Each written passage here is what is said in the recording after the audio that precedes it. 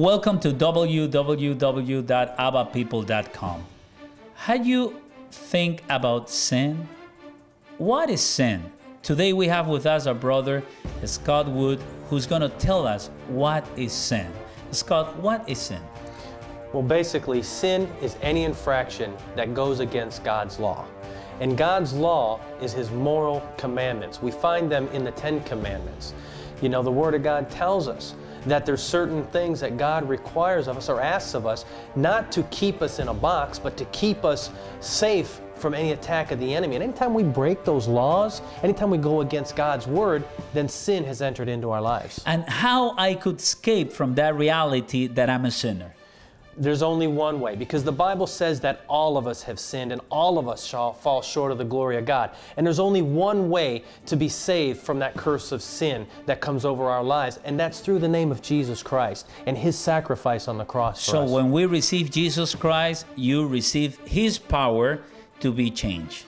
Yes, when you receive Jesus Christ into your heart, you receive not only his life, but you receive the, what he has done on the cross for you, which has freed you from the curse of death that comes through our sins. What could you say to many people right now who is uh, looking this video that they are living in sin and they don't even know that is sin, but they are living in despair, anguish, and darkness?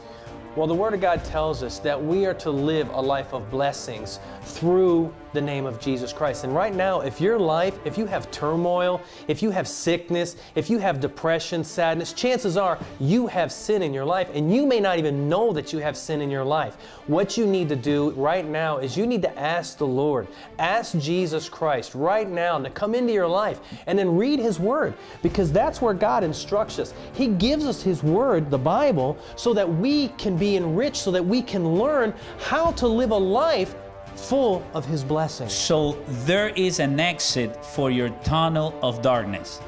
And the name of the exit is Jesus Christ. Could you pray for the ones who are suffering right now? Scott? Absolutely.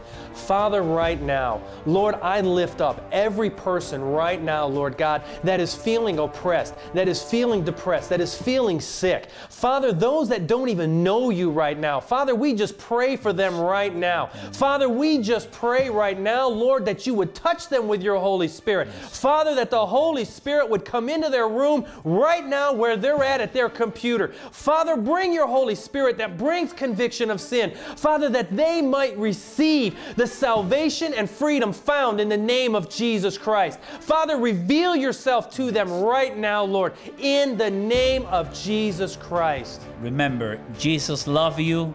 Call us, contact us because we want to help you in your new journey. Blessings.